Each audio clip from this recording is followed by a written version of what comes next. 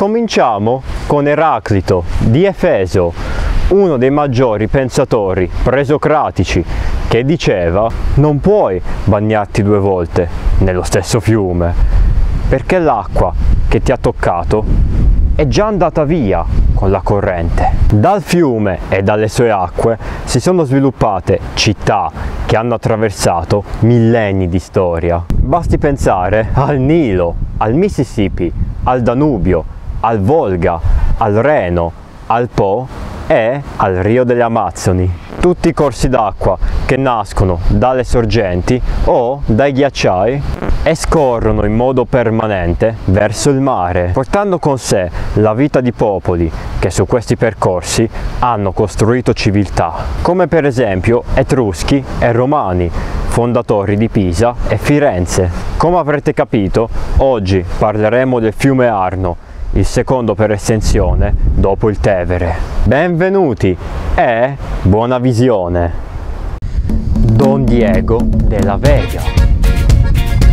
Questo che vi sto inquadrando adesso è l'ingresso del Museo delle Armi, che dopo ve ne parliamo. Fu inaugurata il 23 giugno del 1892 e fu un grande successo. Eravamo all'inizio del 1900. Qui, cari amici, siamo all'ingresso dello storico locale di Leopoldo Procacci. Benvenuti!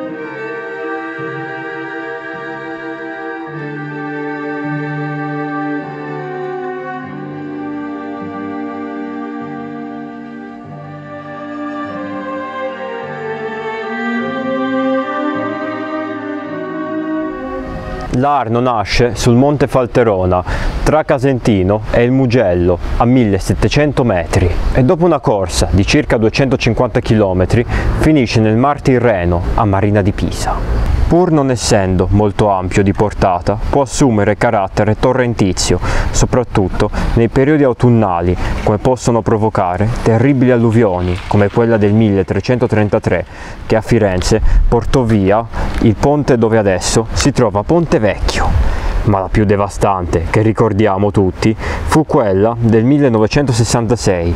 L'Arno in quell'occasione esondò nel Casentino, nelle pianure pisane, colpì gravemente il centro di Firenze e a Pisa crollò il ponte Solferino, uno dei principali della città. Sullo schermo potete vedere alcune foto e sentire alcuni racconti di quello che successe davvero in quella terribile notte della piena del fiume del 1966.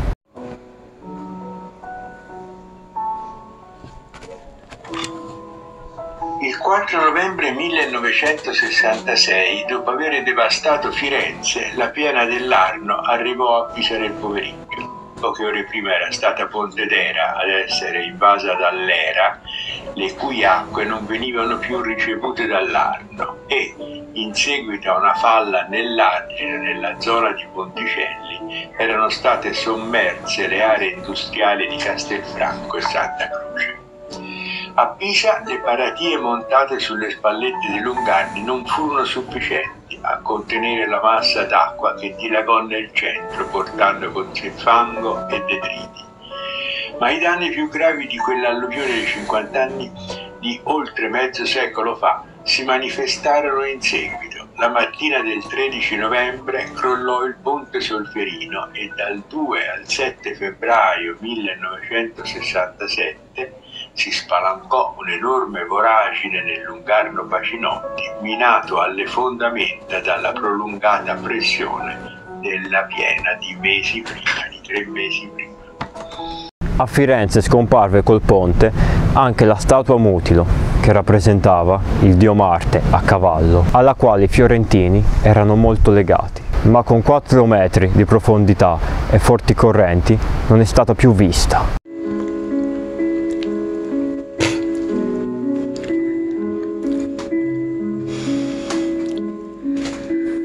Dopo il Casentino, l'Arno attraversa la piana di Arezzo, tra la Val di Chiana è il lago di Montepulciano.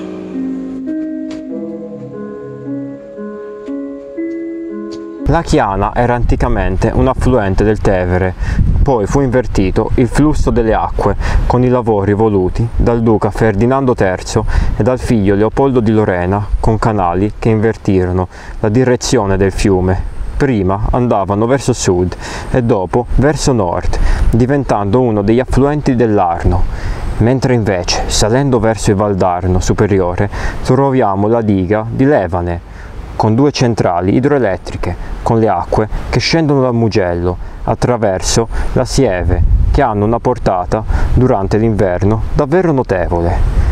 Mentre il Valdarno inferiore finisce nella valle di Pontedera, alle pendici del Monte Pisano e il Padule di Fucecchio, la più estesa palude interna italiana di circa 2000 ettari.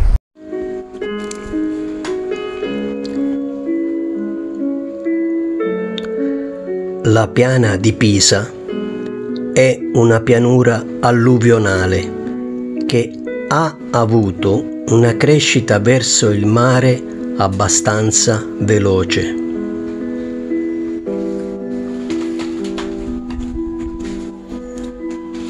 Infatti in epoca romana Pisa era dotata di un porto sul mare, mentre adesso dista circa 10 km e il letto del fiume Arno scorre lentamente verso la foce. Durante numerose alluvioni furono avviati i lavori nel 1954 per l'escavo dello scolmatore del fiume, che a Pontedera avrebbe fatto defluire la piena verso Calambrone. Tra Livorno e Tirrenia attraverso una diga lunga 32 km e conclusa nel 1960. Dei tanti ponti che collegano le sponde del fiume parleremo in seguito, ma dovete sapere che quasi tutti furono bombardati e distrutti dagli alleati e dai tedeschi durante la fine della seconda guerra mondiale.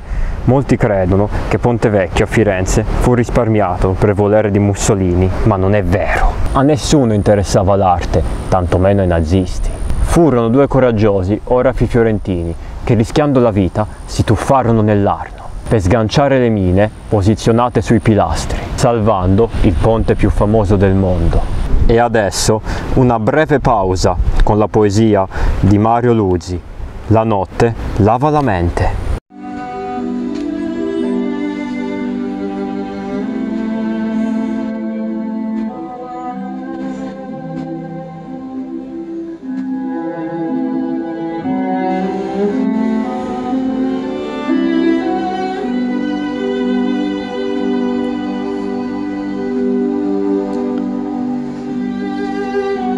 Poco dopo si è qui, come sai bene, fila d'anime lungo la cornice, chi pronto al balzo, chi quasi in catene. Qualcuno sulla pagina del mare traccia un segno di vita, figge un punto. Raramente qualche gabbiano appare.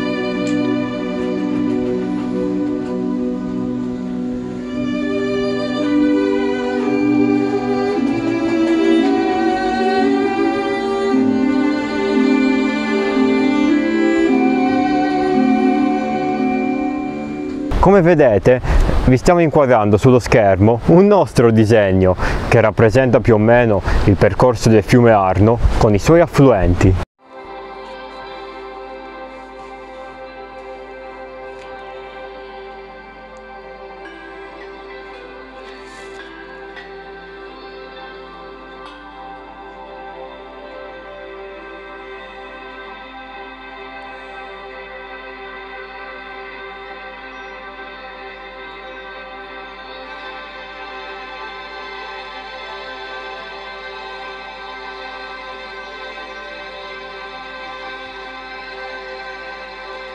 Tanti si lamentano che non ci sono passeggiate, piste ciclabili o navigabilità come in altri fiumi. Ciò è dovuto soprattutto alla morfologia del territorio, che fa diventare queste acque impetuose e torrentizie.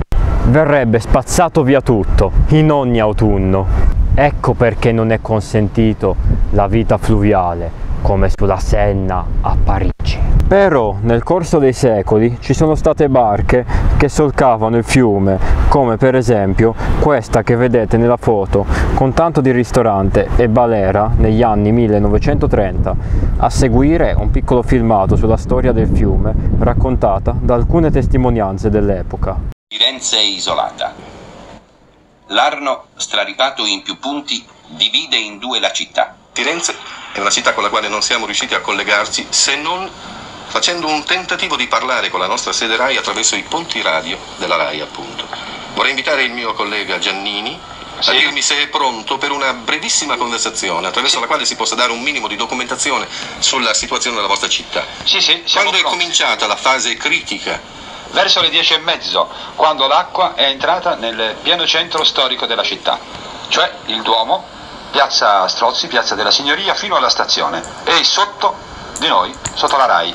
Se apro una finestra, tanto per dare l'impressione di che cosa c'è sotto di noi, se si sente il rumore, ecco,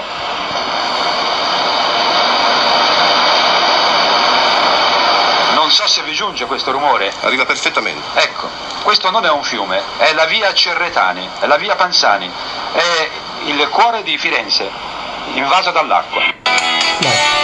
Sul nome Arno non ci crederete, ma nessuno sa perché si chiama proprio così. Nell'antichità pare che si chiamasse Arner o Arnor, che in lingua prelatina significava movimento, agitato. La sua storia è millenaria, si parlava già del fiume 800 anni prima di Cristo. Certo era molto paludoso, ma le sue acque sono state usate da Etruschi e Romani. La via Clodia, Cassia, l'Aurelia passavano per l'Arno e con oltre 170 alluvioni nella sua storia, l'aggettivo agitato è giusto. Parlando di ponti non possiamo dimenticare Ponte Aburiano, provincia di Arezzo, sulla strada provinciale Sette Ponti, importanti per la sua lunghezza, 156 metri, su sette campate, uno dei pochi ponti rimasti indenni dopo i danni del secondo conflitto mondiale. A valle di questo ponte sono stati ritrovati reperti archeologici di periodo etrusco e romano. Da qui infatti passava la Cassia Vetus, che collegava molti centri dell'impero.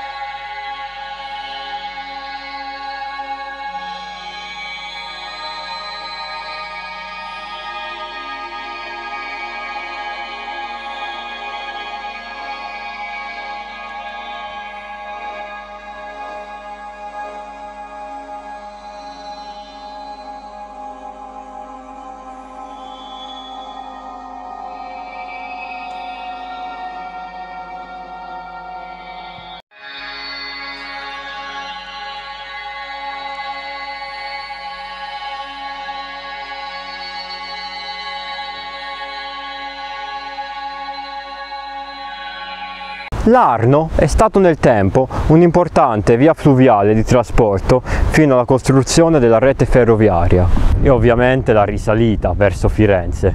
Per esempio, i famosi marmi di Michelangelo Buonarroti per la costruzione del David furono trasportati con delle chiatte via fiume, che era anche il principale mezzo di trasporto per legnami. E adesso un'altra piccola pausa con un brano di Alessandro Manzoni, La madre di Cecilia.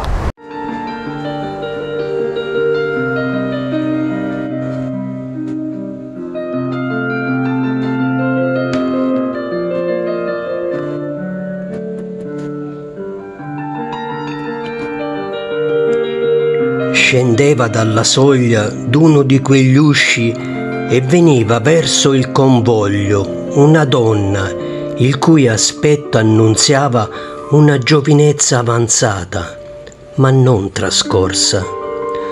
La sua andatura era affaticata, ma non cascante, Gli occhi non davano lacrime, ma portava segno d'averne spese tante. Portava essa in collo una bambina di forse nove anni, morta, ma tutta bene accomodata, co capelli divisi sulla fronte, con un vestito bianchissimo, come se quelle mani l'avessero adornato per una festa promessa da tanto tempo e data per premio. Né la teneva a giacere, ma sorretta, a seder, su un braccio, col petto appoggiato al petto, come se fosse stata viva. Perché Fiume d'Argento, come il famoso testo di una canzone toscana? Perché anni fa l'acqua dell'Arno era pulita e non torbida. Si poteva lavare la biancheria, ci si faceva il bagno e la notte si specchiavano le stelle, perché le città non erano illuminate come adesso. E sui lungarni potevate incontrare, a parte poeti e artisti, anche scrittori come Alessandro Manzoni, che passeggiava avanti e indietro per ascoltare il toscano, per adattarlo al suo capolavoro dei Promessi Sposi. E non è tutto, a Firenze, zona Oltrarno, esiste una galleria che attraversa il letto del fiume da una parte all'altra, senza toccare l'acqua. Precisamente si trova fra San Niccolò e Torre della Zecca, lunga 250 metri, che il sindaco Nardella vorrebbe restaurare per farla usare dai turisti e dai fiorentini. Una galleria dei misteri sotto il letto del fiume Arno. Faceva parte della fabbrica dell'acqua, poi demolita nel 1959, dopo la costruzione dell'acquedotto Anconella. Pronto? Sono Ziginos. Ma, ma senza ponte, come si passa il fiume? Caro professore, come Caronte, un tempo c'erano i traghettatori che ti portavano da una parte all'altra del fiume. Tra poco dirai la tua profezia. Legato al commercio della via fluviale dell'Arno, consigliamo di andare a visitare le navi antiche di Pisa, presso il Museo archeologico degli Arsenali Medicei, legati alla storia del Portus Pisanus. Oppure visitare la Valle dell'Inferno, ma non ci sono diavoli, è una riserva naturale e protetta nel Val d'Arno. Qui il fiume scorreva in modo violento e quindi era pericoloso per le barche e anche per le zattere che trasportavano legnami dalle foreste del Casentino. Si racconta che proprio qui Dante Alighieri abbia trovato ispirazione per Caronte, il traghettatore delle anime nella Divina Commedia. Oggi, con la costruzione della diga, il fiume è diventato più calmo, ma con l'acqua non si scherza. Lo sanno bene i toscani che ricordano il 4 novembre del 1966, quando l'Arno rompe gli argini a Firenze, con danni ingenti e tanti morti. Sullo schermo vedete alcune foto che ricordano l'alluvione che esondò anche nella pianura pisana e a Pisa un pericolo costante sui corsi d'acqua, anche se le autorità cercano sempre di sviluppare una prevenzione a tutela dei cittadini. E adesso, come accennato prima, ascoltiamo la profezia del professor Zighinas.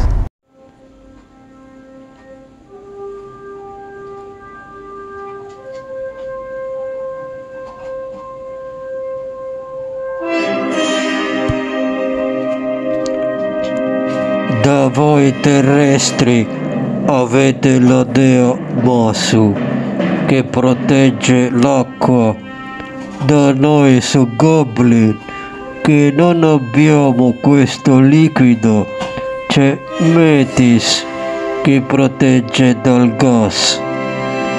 Se comunque vi sognate il mare, state cercando di cambiare qualcosa che vi disturba per rinascere sereni.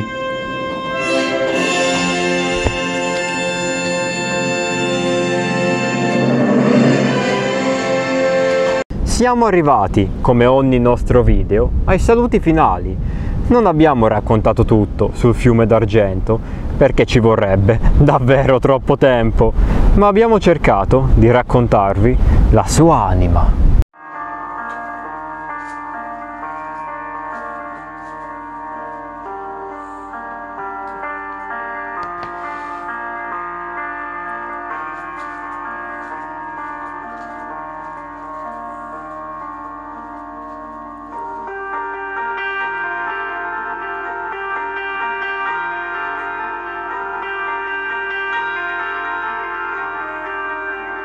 Con la preghiera di tenerlo pulito e preservarlo dagli inquinamenti.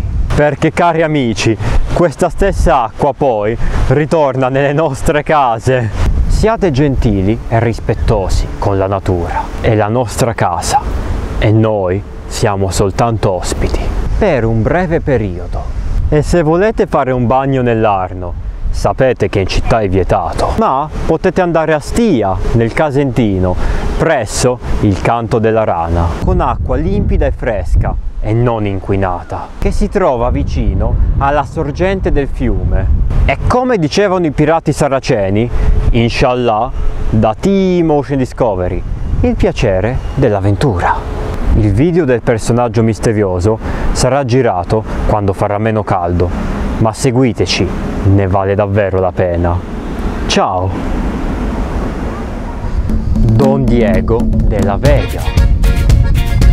Questo che vi sto inquadrando adesso è l'ingresso del Museo delle Armi, che dopo ve ne parliamo. Fu inaugurata il 23 giugno del 1892 e fu un grande successo. Eravamo all'inizio del 1900. Qui, cari amici, siamo all'ingresso dello storico locale di Leopoldo Procacci.